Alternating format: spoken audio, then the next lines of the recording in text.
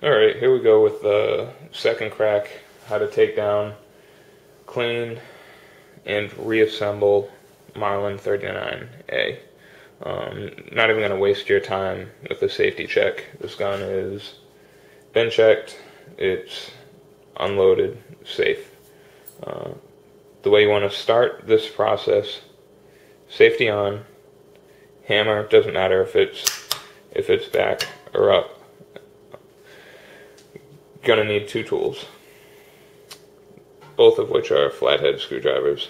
One fine one, one you know regular size, and I'm gonna start with the gun on uh, the left side. If you're gonna be holding it, I'm gonna start with the gun on the left side. It's gonna expose this big screw. What we want to do is loosen this.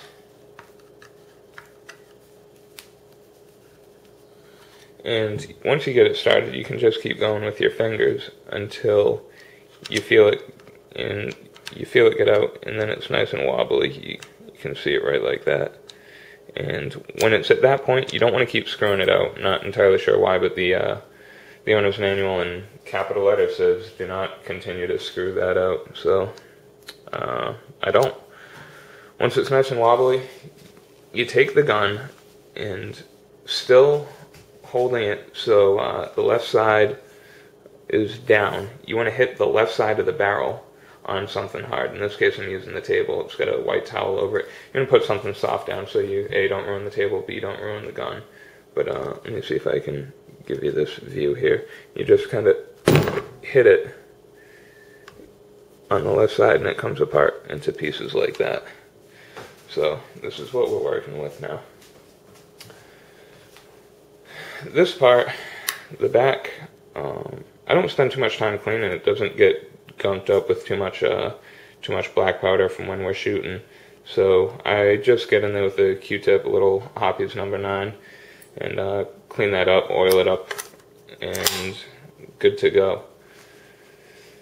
This part here is where the trouble gets. Um, obviously up here is where the uh, the shell is fired. It gets caked with uh, all kinds of gunk in here from the black powder. Um, if you get a little too much oil in there, then you, you get this nice sludge. It's uh, it's kind of a mess. So this is the important part. You got to take this out. The next step, once we get it into two pieces, is this the bolt here will slide out and you just kind of take it and you push it in with your thumb. You just push it back like that, and you'll push it, it'll hit a stop there. You can't push it that way anymore. When it hits that, you just pick it up, comes right out. So there we go. Gonna put that right over there. This is gonna be filthy. You're gonna wanna clean this up all over. Uh, right here, it's got the last three digits of the uh, gun serial number engraved. Um, it's going to be filthy. I'm going to want to clean that up. I'll set that aside for now. Now, this in here, also going to be filthy. Here's the barrel, right here. This is the ejector.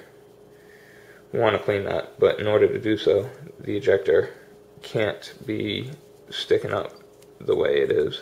So we have to push it down. And the way to do that is really uh, it's really pretty easy. What what you have to do, let me see if I can zoom in on this.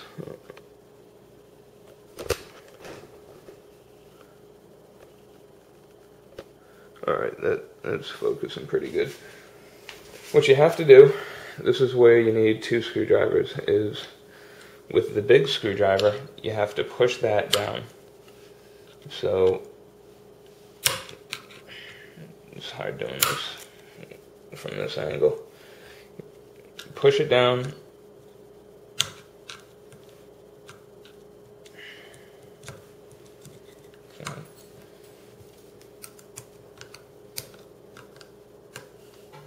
So it's in there. I know there's no way you can see this, but I'm just going to go ahead and do it. there, uh... Okay, let me just talk to it now that I got it at this point. Okay, good deal. There's a screw right here that's slotted. This is the ejector. well, the screws, of course, it's slotted. You got to put the screwdriver in. This is where you need the little screwdriver. The big screwdriver holds the ejector down. The little screwdriver has to turn this screw over so, to hold the ejector down. You'll see what happens if I undo it. Boom, the ejector pops right back up. So what you have to do is you have to push this down with the big screwdriver. And then while you're holding that down, the screw gets twisted over to keep that down. So, uh, and then after you do that, I'm not even going to bother putting that down. I'm not, also not cleaning the gun this video. This gun is clean, but uh, you can see the hole from the barrel right up at the right up at the top there. Um, you want to clean down the barrel towards the muzzle, and it's going to be loaded with black powder all up in here. You want to clean this up.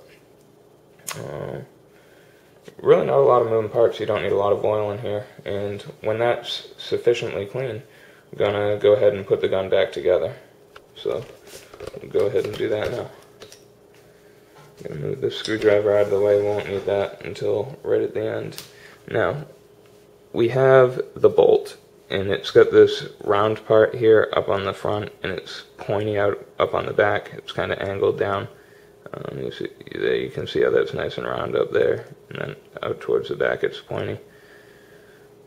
The round part goes faces the front, and you can see it's round here, and it slides right in there. So you remember we put pushed it back to a stop, we got to put it right back in there, and then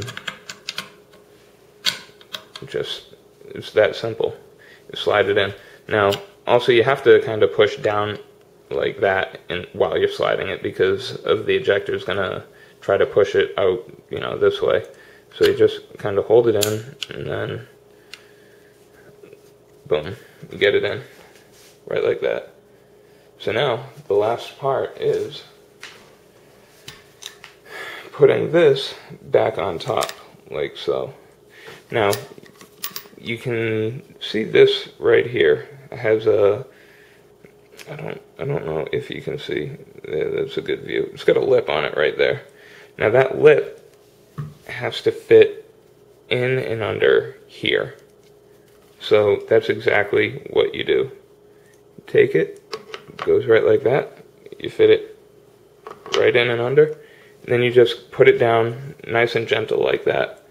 You don't have to, uh, you definitely do not have to force this. Um, the screw, when you tighten it, it's going to pull the gun back together. It can be off by like even that much.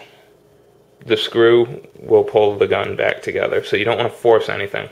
When you're working with a gun, never force anything. If it's not going easy, you did something wrong. So once it gets back to that point, you just find the hole, you thread it back in. Now that that's started, you can see uh, this gun's well, it's aligned pretty well, but you can still see all this daylight in here. And uh, it's not even, you can see the angle there, it's not close. Well, it's close, but it's not perfect. You get that in, just torque it down. And you'll know, you can feel it tighten and then it'll get easy again when the gun kind of pops into place and then you got to torque it up. And you'll know when uh, when it can't go anymore. But that's it, piece of cake. So, uh, get it back together, torque that down, work the action a couple times, trigger, everything's fine, safety. That's it, piece of cake, three parts. How to take down and reassemble the Marlin 39A. Uh, hope this is a little better than the first one, a little more coherent, trying to get better have any questions, leave me leave me a message. I'll try to help you out. That's all. Until my next video. I'll catch you later, guys. Thanks for watching.